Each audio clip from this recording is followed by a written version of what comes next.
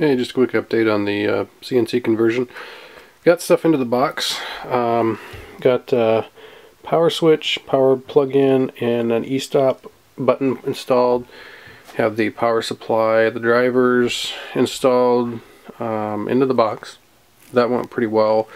Still trying to decide on how I'm going to put the computer part. See, I got the Raspberry Pi here have a uh, an Arduino Nano with a four relay board um, to be able to run stuff. Testing that out basically. Ran into a problem though. I was gonna mill out the uh, panel mount for the connectors. These little guys right here.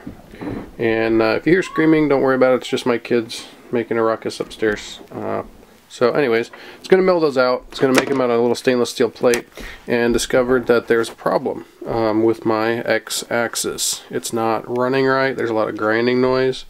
Um, so I'm going to have to tear it apart. Thought I would uh, make a video of what it takes to actually remove the X-axis table from the saddle.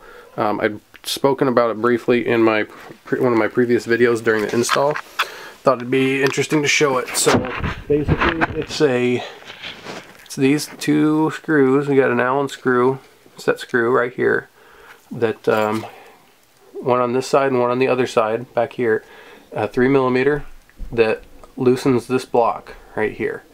Um, so it's pretty simple if you know what to do and how to do it. So we're gonna do a video on it. Alright, so to take off this table section here, you need a 3 millimeter Allen wrench and a 10 millimeter uh, regular open end wrench, open end box end, whatever you got. Um, I've got another one that's probably going to be a little better. Open end box end. So to do this, you're going to take off these four screws, you're going to back them out. These are the gib set screws. So I'm going to take my 10 millimeter wrench and loosen that.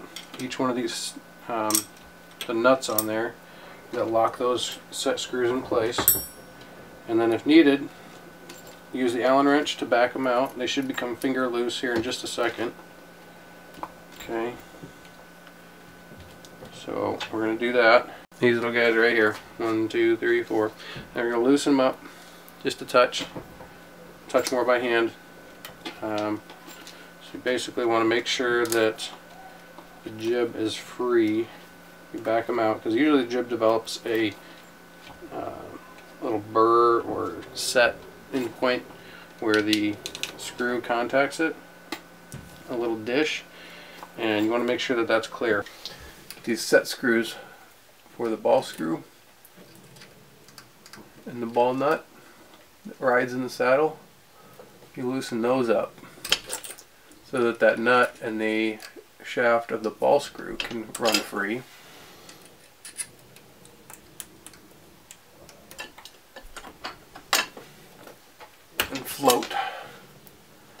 That will help substantially.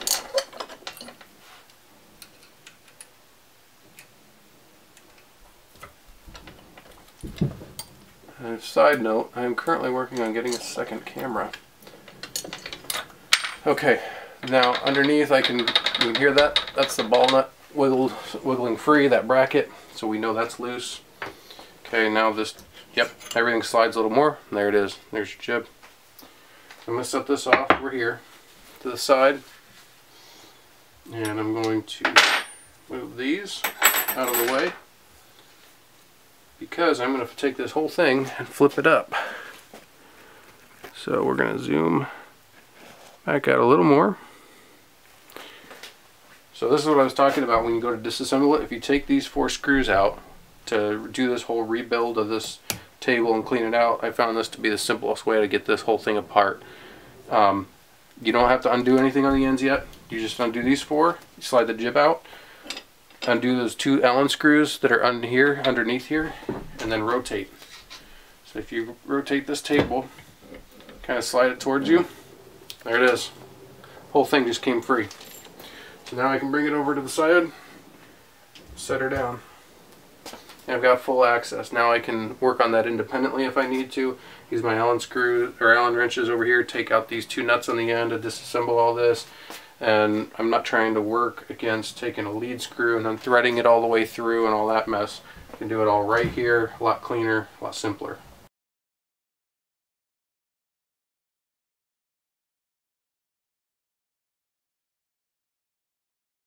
So now that we've got the table off, uh, I'm going to try to replicate some of the problems I was having with it. Basically, it sounded like it was binding and grinding um, when I was trying to run the x-axis back and forth.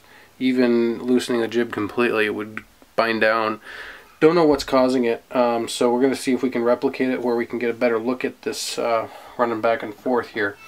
Um, don't know if there's a problem with the ball nut or if it's where it is. But what I've done now is, or since I've gotten it taken off, I went ahead and reconnected the controller, um, fired up my Raspberry Pi, opened up BCNC, which is the controller software on the Pi through remote desktop, which is pretty cool. And this is now, I have the pendant uh, application up and running. So this is BCNC pendant and it's going to run and I can sit here and control the thing from here. So if I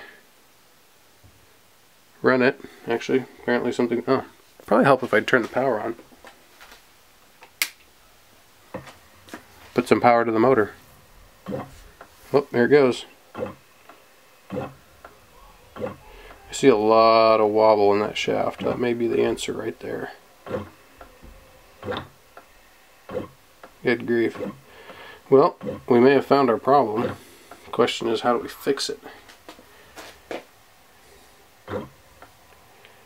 So let's run it for 50. Wow, look at that wobble.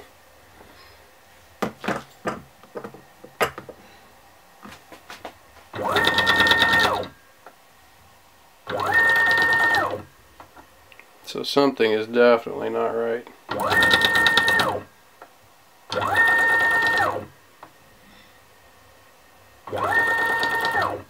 the question is, what is generating the wobble? Is it this end out of alignment? Or is it this end down here that's off? Hmm. Guess we'll have to figure that one out, but that's that's where we're at. First things here is uh, take off the motor end and take a look at this assembly here, coupling. See if there's something out of uh, alignment there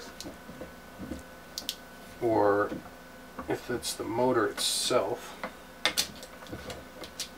Somehow I got a bad Fleabay motor because that never happens. Good thing I bought the four pack.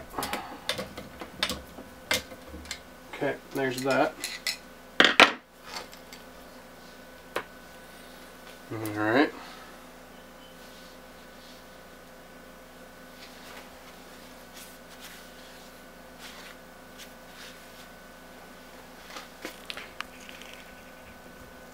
So there's the motor. Get my tablet back over here.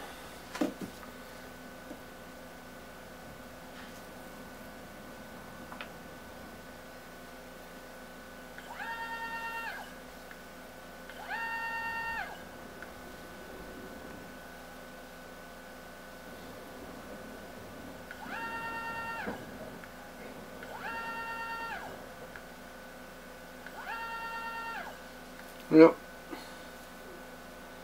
Looks like I'm meant to pull the motor off the bracket. Probably put it, uh, clamp it down to the bench, get the indicator on it. Just see if we've got wobble in there. Um, to really nail that down or eliminate that option. The other thing to do is check this. Of course, I guess that might answer it right there. I mean, turning this by hand, look at that and you can see the wobble in it. So this is not being held true from this end back here. So I'd already thought about trying to replace these bearings but the question is since this is the push-pull force back here what do you do to address that? And the other thing ooh. Yeah, I can I understand I think why that's grinding and binding on that. Um, yeah, I'm going to disconnect the camera here. So pardon the wobbly.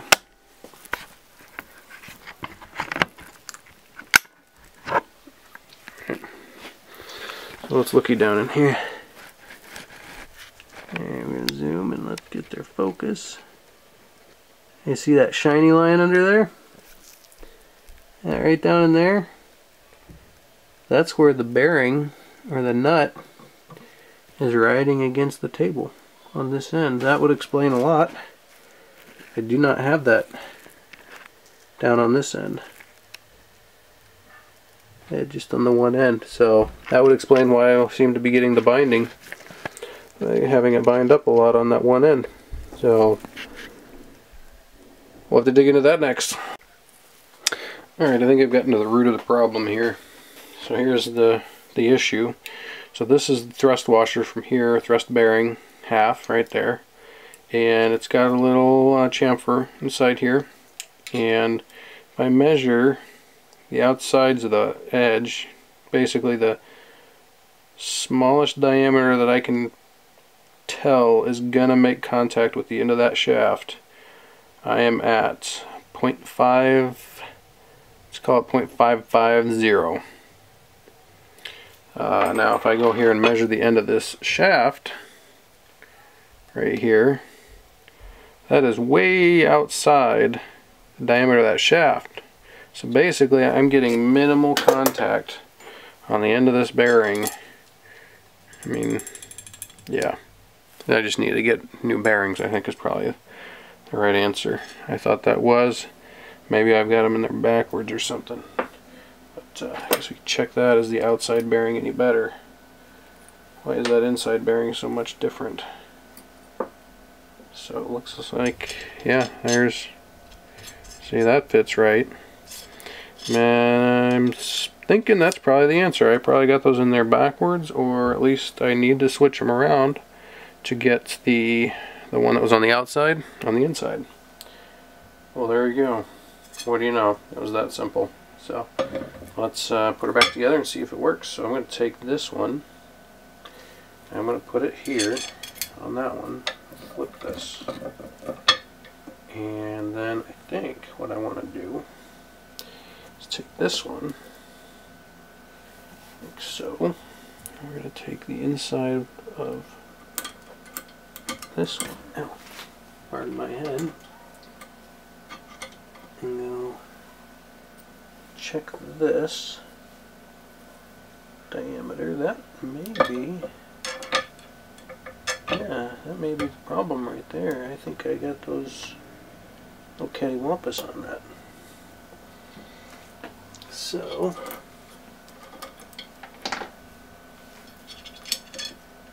yep, that was it.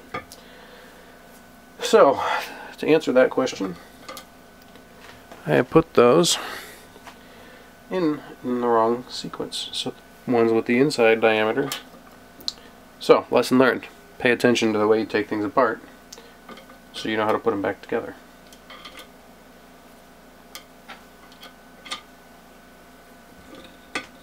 lesson learned. Make sure you get this right side up. You put that back in there. Wipe the grease off my fingers. Tighten her up and see if we have a solution.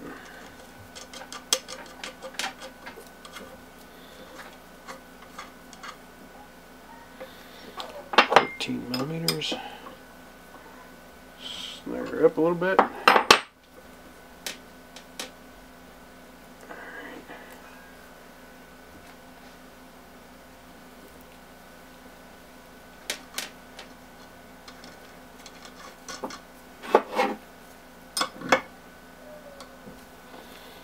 Snug but not too snug.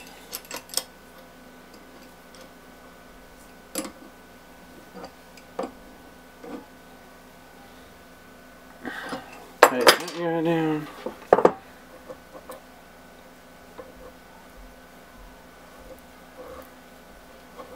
Yeah. Looks like there could still be a little bit, but nothing like it was. question is, does the bearings still ride on the bottom of the table? So we're going to have to put her all back together. And let's, uh, so y'all can see what I'm talking about. Zoom in so you get a better view of that shaft. Focus. Okay. So before it was spinning all over the place, but now just a teeny little bit of wobble. I think that's, I think a lot of that's me. The real question, I'll get the motor put back on here. Let's go ahead and do that. These motor mounts. And uh, another thing I learned, realized the other night, I did this once before, hang this end off of the table, makes it a little bit easier to work with. Fire up my pendant, power back up. Okay, that's on. Alright, let's see what she does. Oh, that's much, much better.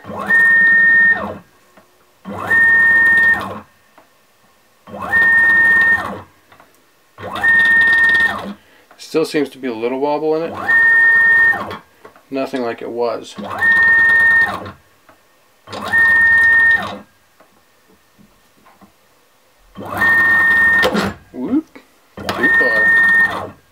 Camera. What do you know?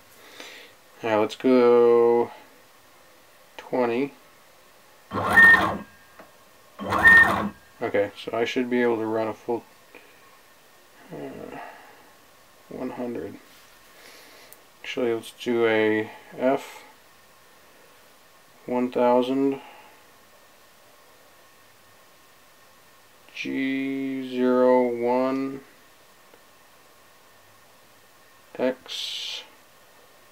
200.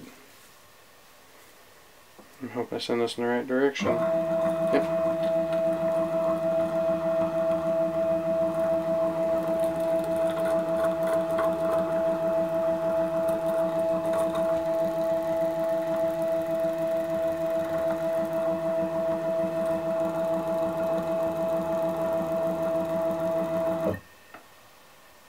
Very nice. I think we solved it. Well, I won't bore you with the details of me reassembling this beast. Then again, I might. We'll see.